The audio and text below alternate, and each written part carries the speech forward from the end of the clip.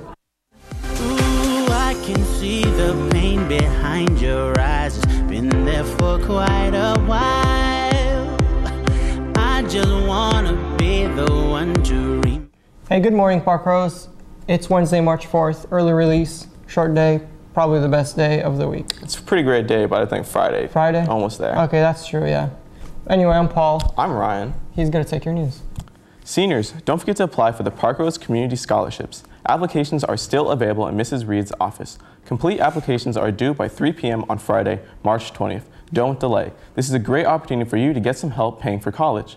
10th and 11th grade students interested in architecture, construction, or engineering can see Mrs. Grant uh, regarding information and applications for ACE Academy. ACE offers students hands-on learning, college credit, and an opportunity to work with experts in their field. If you have any questions, find Miss Grant before school, after school, or at lunch. Now check this out.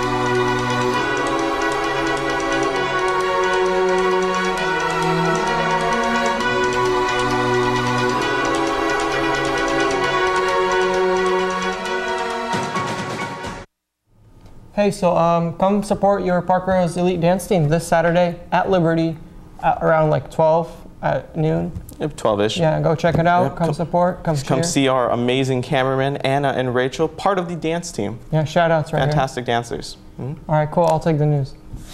Beauty and the Beast continues this Friday at 7 p.m. in the Parkrose Theater and Saturday at 2 and 7 p.m.